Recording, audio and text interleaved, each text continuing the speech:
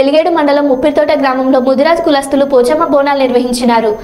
ఐదు సంవత్సరాలకు ఒకసారి చేసుకునే పెద్దమ్మ పట్నాల్లో భాగంగా మొదటిగా ఊరు ఇలవేల్పు అయిన పోచమ్మ బోనాలు ఆదివారం రోజున నిర్వహించినారు. ఊరిలో ఉన్న భూలక్ష్మి మహాలక్ష్మి దేవతలకు అభిషేకం నిర్వహించి పోచమ్మ దేవాలయానికి బోనాలతో నైవేద్యం సమర్పించి కళ్ళు పోచమ్మకు ఆరబోసి పిల్లా పాపలను చల్లగా చూడాలని ఆ దేవతను వేడుకున్నారు. ఈ కార్యక్రమంలో ముదిరాజ్ కులస్తులు పెద్ద ఎత్తున పాల్గొన్నారు.